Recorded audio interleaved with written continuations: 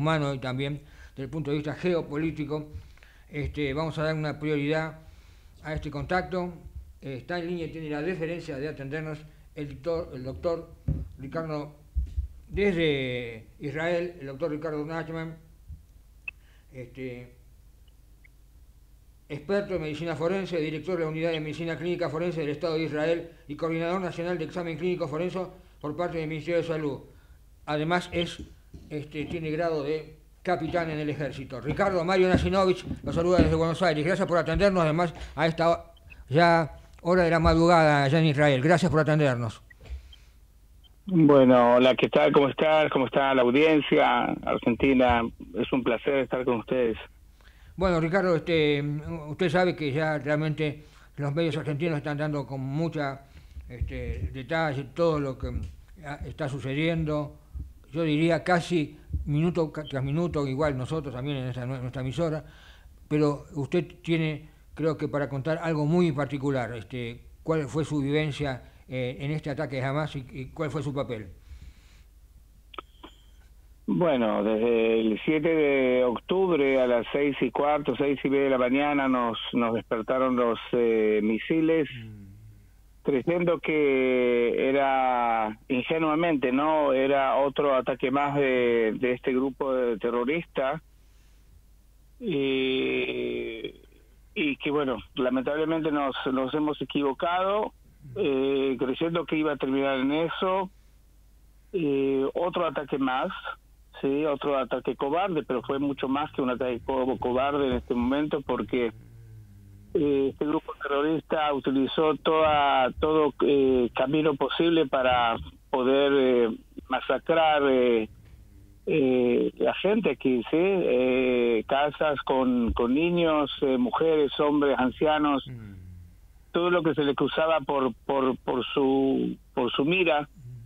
gente inocente que, que, que, no, que no pudo entender que eso es lo que iba a pasar, ¿no? Y bueno, yo como, como médico forense, hay un solo instituto de medicina forense en Israel, y, y, abocado a todo lo que tenga que ver con la parte de identificación de, de cadáveres, trabajando juntamente con el, con el ejército de Israel, que no es solamente sirve para defender y contraatacar todo este tipo de cosas, sino que también está está abocado a, todo lo que tenga que ver con la identificación de, cadáveres en una importante base del ejército que está en, la parte central este del país. ¿Y, qué, es lo que, qué, es lo que vio usted? Bueno, que es lo que no vi, todo lo que cualquier mente humana eh, con, eh, que no que eh, mente normal, sí, no no se puede imaginar. Toda clase de lesiones corporales, eh, gente eh, masacrada, masacrada, quemada en vida, eh, con eh, heridas tremendas de fusiles tipo tipo Kalashnikov, ¿sí? que es un calibre que atraviesa motores de autos, si quiere. El, el, típico, la, la, típica, vamos a hablarlo en castellano, la típica metralleta soviética.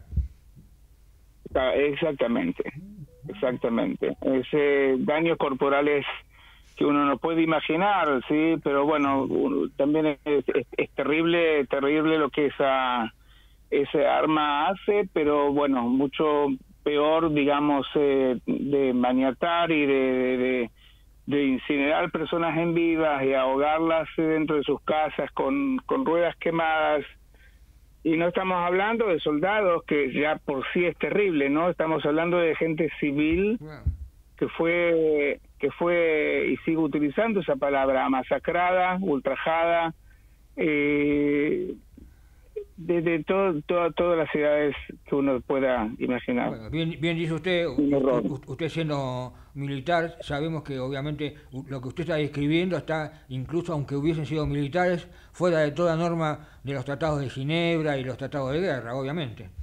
No, por supuesto, por supuesto, o sea, no, no, acá es, el, es un estado, de, por mi punto de vista, ¿sí? Es un estado de guerra pero no es una guerra con, común, es un, no es una guerra contra otro país, donde hay, hay digamos, eh, eh, respeto mínimo eh, a, los tratados de humanitarios, si se puede decir eso en una guerra, ¿ok? Esto, esto, ellos no, no tienen el más mínimo, más, más mínimo respeto por, por la vida humana, ni siquiera en la gente palestina, ¿no? O sea, ellos uno no los considera como palestinos, considera como lo que son, que son terroristas, terroristas que, mm. eh, que meten el terror en todo el mundo sin conocer fronteras. Eh, un, un, horror que uno no puede, otra vez le digo, eh, una mente normal no puede imaginar. Mm, no se lo puede imaginar. O sea, usted tendrá larga experiencia por su profesión, esto es inédito. Bueno, eh, yo estuve en, varios lugares del mundo durante todos los últimos, bueno, los 28 años que, tengo como médico forense.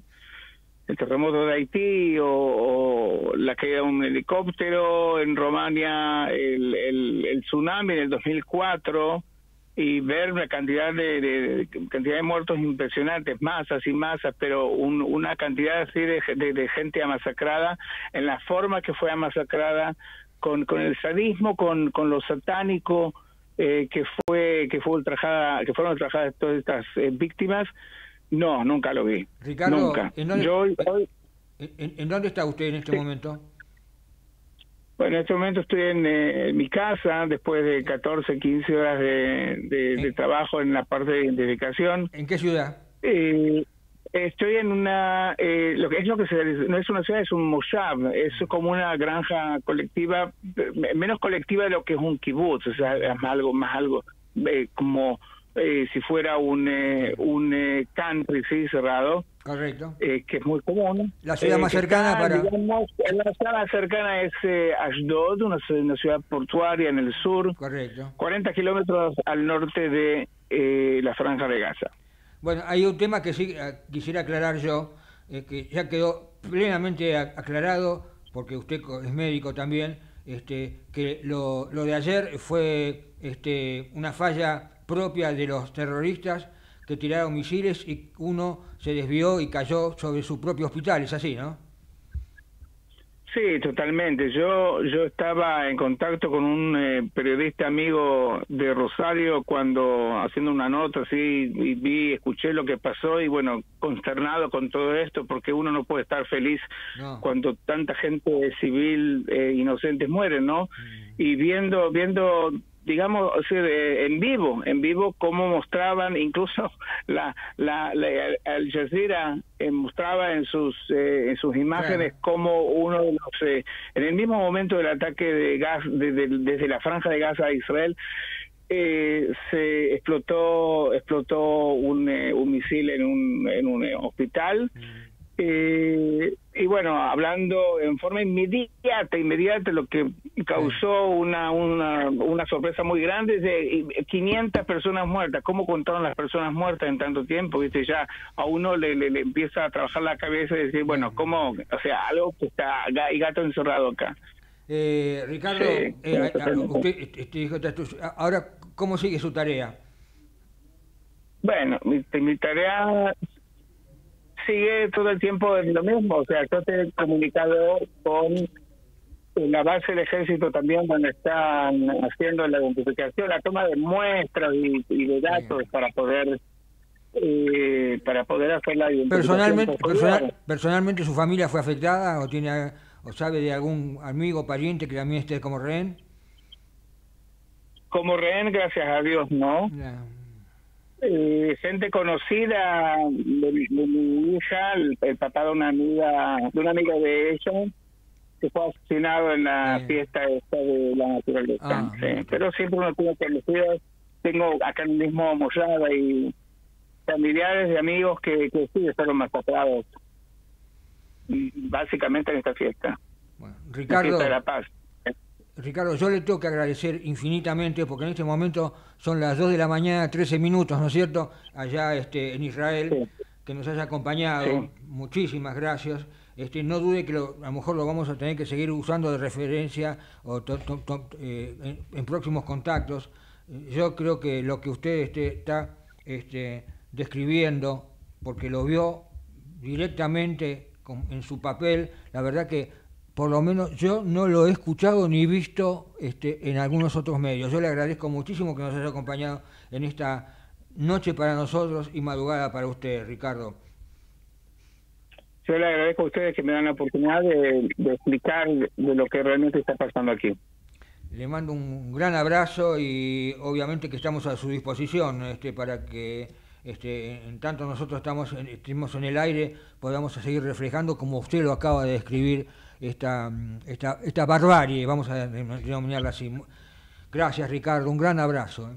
Muchísimas gracias y yo estoy a la disposición de ustedes, de verdad. Bueno, muy bien, ahí estaba el doctor Ricardo Nachman, experto en medicina forense, director de la Unidad de Medicina Clínica Forense del Estado de Israel y coordinador nacional de examen clínico forense por parte del Ministerio de Salud y además capitán del ejército israelí.